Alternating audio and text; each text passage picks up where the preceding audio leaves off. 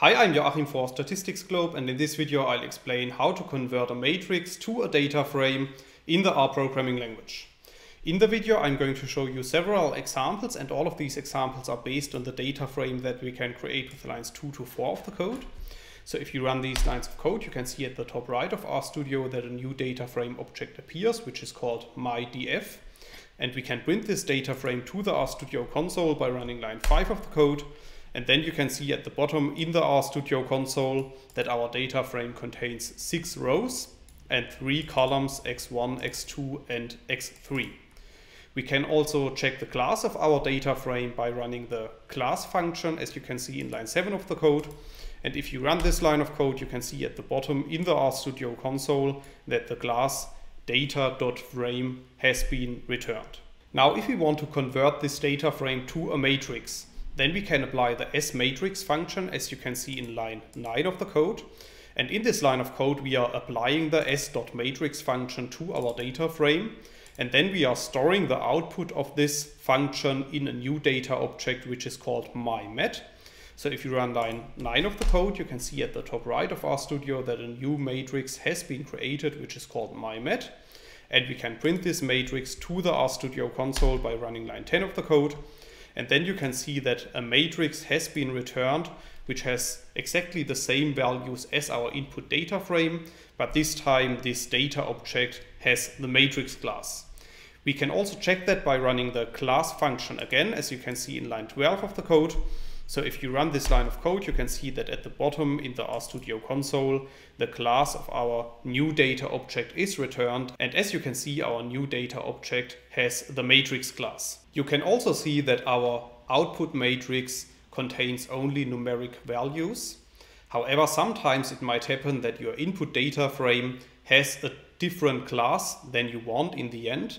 And in the next example, I will show you how to modify the class of your values in the output matrix. So for this, we are first going to duplicate our input data frame, as you can see in line 14 of the code. So if you run this line of code, you can see at the top right of RStudio that a new data frame has been created, which is called mydf feg. And in the next line, in line 15 of the code, we are converting one of our columns of our input data frame to the factor class using the as.factor function. So if you run line 15 of the code, the data frame is updated so that one of our columns has the factor class. Now if we apply exactly the same code as in the previous example, based on the as.matrix function, then another output matrix is created. However, if you print this output matrix to the RStudio console, you can see that the class of our values in the matrix is different because this time each value is shown in quotes. So let's assume that we want to convert our output matrix to the numeric class to get exactly the same output matrix as in the first example. Then we can use the apply function as you can see in lines 20 to 22 of the code.